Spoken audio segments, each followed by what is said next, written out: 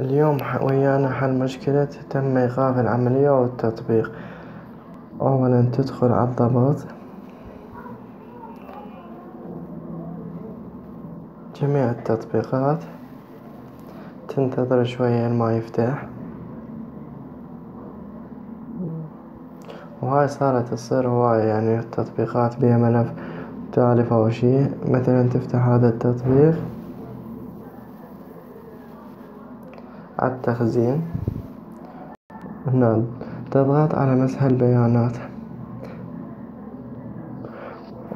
إذا اشتغلت يمك هاي الخطوة اشتغلت ما اشتغلت وظل تظهر نفس المشكلة. المرحلة الثانية مسح البيانات خاصة ب Google Play يعني سوق Play أي منا؟ تخزين ومسح البيانات هي أول وحدة. تمسحها كل شي